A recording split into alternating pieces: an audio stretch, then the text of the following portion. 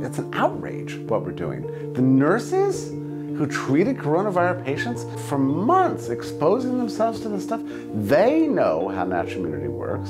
We stood in our apartment windows and cheered them as they came home from work. Yay, thanks for saving us.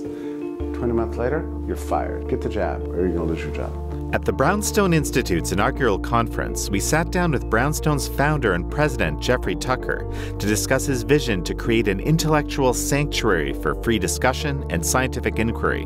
Because you've got a ruling class that's not going to admit error. So that's when the lies began. And the lies have not stopped. We live in a world of lies. This is American Thought Leaders, and I'm Jan Jekielek.